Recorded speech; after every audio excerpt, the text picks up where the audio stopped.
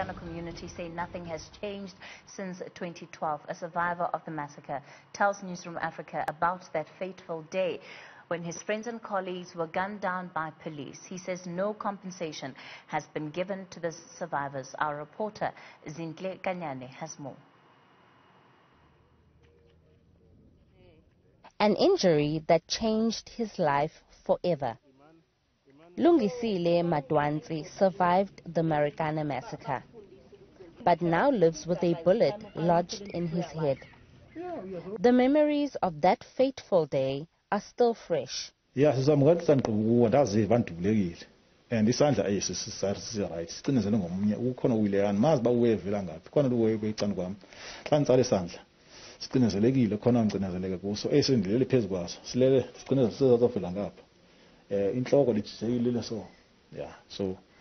uba kwenzekini nami ndabe ndiziva ndilimele but andazi uba ndizawuphila kwenzeka because ndiyaziva ndisaphefumla kona uphefumla ngesikhathi ndizama ukuvuka uba waye wathathwa lucani kwam. Um abantu basemoshwali bamfaka le nto imhlophe. Ndabe ndibona kunetyhipho le nto iimoto zemoshwali amahesha amileyo afolileyo yabo. Then ndazobanjwa ngaba paramedic ngoba bafika bandishukumisa babanza phefumla begqoke i-overall ezibomvu babesendifaka oxygen bafaka istray bandifaka istrens basekela inantsika le into intango le bandihlali kakuhle bandilayisha kwi-helicopter bandisaka esibhedlele He says the shot that struck his head came from a helicopter. Eight years later, he's still undergoing physiotherapy to help him walk.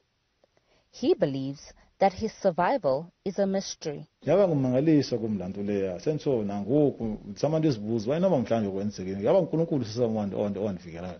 ngoba kutsho ukuthi akufike ilanga loba ndiyife mna ngenkani ndibulawa ngumntu ngoba laa nto yenziwa ngugovernment laa nto leyo He says he hasn't received any compensation for his injuries.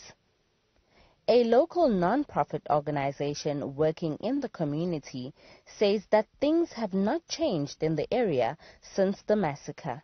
awukabikho kwanto eshintshile imisebenzi ayikho iy'ngane zihlele endlini nemetriki kuyafana As the country commemorates the lives of 34 miners who were brutally gunned down by police eight years ago, locals say they are still waiting for government's promises to compensate the survivors. For Newzroom Afrika on Channel 405, I'm Zintle Kanyane in Marikana.